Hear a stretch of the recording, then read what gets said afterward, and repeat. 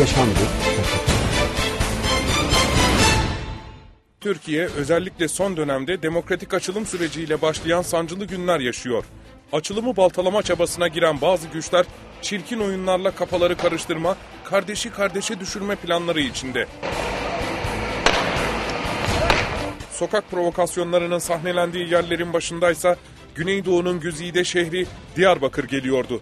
Vali Hüseyin Avni Mutlu günlerdir bölgenin nabzını tutan Samanyolu Haber'e konuştu ve çok önemli mesajlar verdi. Sokakta arzu etmediğimiz bir takım görüntülerin içerisinde olan gençlerin veya çocukların sayısı ne kadar derseniz e, bunların sayısı 300'ü 400'ü geçmiyor.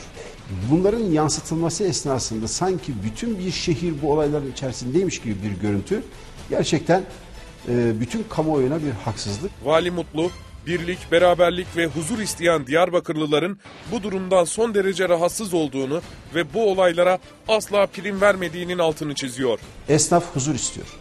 Esnaf birlik, beraberlik, dirlik istiyor. Sabahları kapımı açtığım vakit, kepengimi kaldırdığım vakit e, hayırlı, bol işlerim olsun istiyor. Ama e, bütün bu tabloyu bozan şeylerden de şehir halkı elbette ki rahatsız. Hüseyin Avni Mutlu, son günlerde bölgede dillendirilen OHAL uygulamasının da demokratikleşme ve hürriyet kapsamında yer alamayacağını belirtti. Türkiye'nin e, ideali, arzusu normalleşme ve demokratikleşmedir.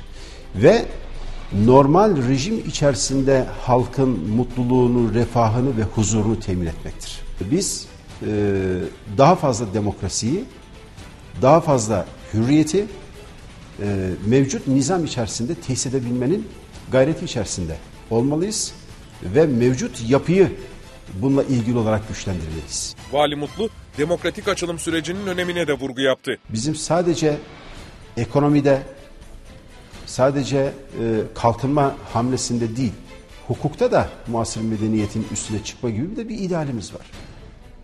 İnsan hakları da bunun önemli bir parçası. Dolayısıyla Türkiye bütün alanlardaki gelişmesini demokratikleşmeyle ilgili olarak sürdürmek istiyor. Halkın sağduyu ve basiretiyle istenmeyen olayların önüne geçildiğini söyleyen Diyarbakır valisi, açılım sürecinin herkes tarafından desteklenmesi gerektiğini vurguladı. Burada 72 milyonun ortak arzusu var. Bunu bozmaya çalışacak her türlü duruşu da milletimiz, Diyarbakırlılar, bölge insanı fevkalade iyi analiz ediyor. Bu işin kusurlu, hatalı veyahut da kasti bir şekilde sabote edilmesine yönelik her türlü tutum ve davranışı da Diyarbakırlı mutlaka e, çok iyi bir şekilde not ediyor. Huzur ve güvenliğin yanı sıra Diyarbakır'ın ekonomik kalkınmasının da istikrarlı olduğunu söyleyen vali, çok geniş bir teşvik kapsamında olan şehre yeni yatırımlar için iş adamlarına çağrı yapıyor.